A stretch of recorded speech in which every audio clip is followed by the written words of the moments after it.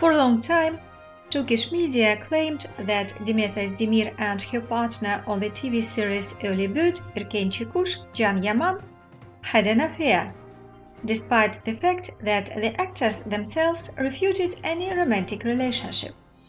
However, after finishing work on the project, Can went to Italy and Demet with her friends went to Bodrum, where journalists immediately found a new love for her. So, who is the new love interest of the actress this time, according to Turkish tabloids?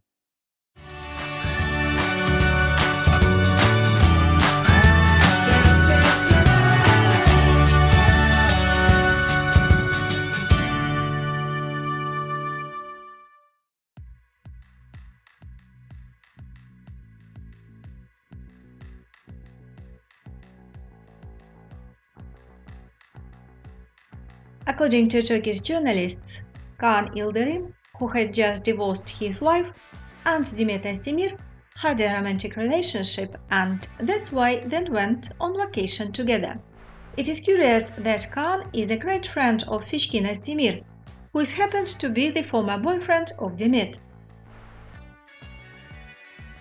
Journalists staged a real hunt for alleged lovers. As it turned out, Demet lives in a separate rented house, but Kaan, who stopped nearby, often visits her late at night and even checks to see if he is being watched. The paparazzi took a photo of a couple who talked until morning.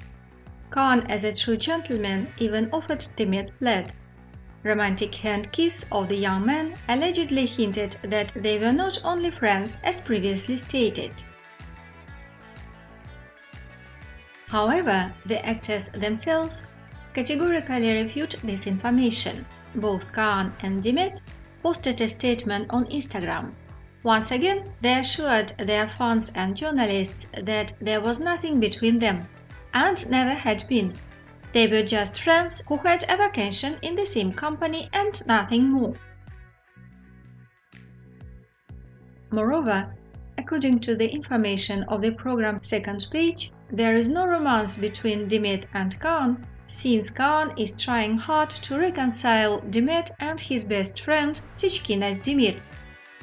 It seems that this time, the famous Turkish media, which have a nose for celebrity affairs, may be confused. What do you think? Is there an affair or are Demet and Kaan just friends who have a vacation in a big company? Share your comments on this video and do not forget to subscribe to our channel.